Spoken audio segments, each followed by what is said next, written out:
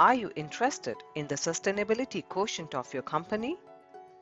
Do you have a need to track environmental data from your various business transactions?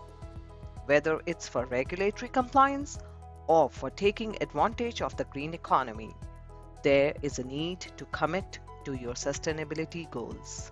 How? With ESG, which stands for Environmental, Social and Governance aspects of each company. Let's take a look at the environmental aspect of ESG. This covers the overall environmental behavior and the measure of how, how well you're looking after your environment, how much or how less carbon do you generate and how ahead or behind are you on your Go Green motto. Having a reliable and efficient solution in place to gather and manage environmental data is crucial. However, the data collection process can be quite cumbersome with the data often spread across various business processes over different suppliers and presented in different standards and formats. Often, this data needs to be manually consolidated, leading to a slow, inefficient, and an error-prone process. What is JD Edwards doing on this front? Considering the need of the hour, JD Edwards is constantly working on solutions to help you collect environmental data. What do you do about it? You talk to the experts at JD Edwards.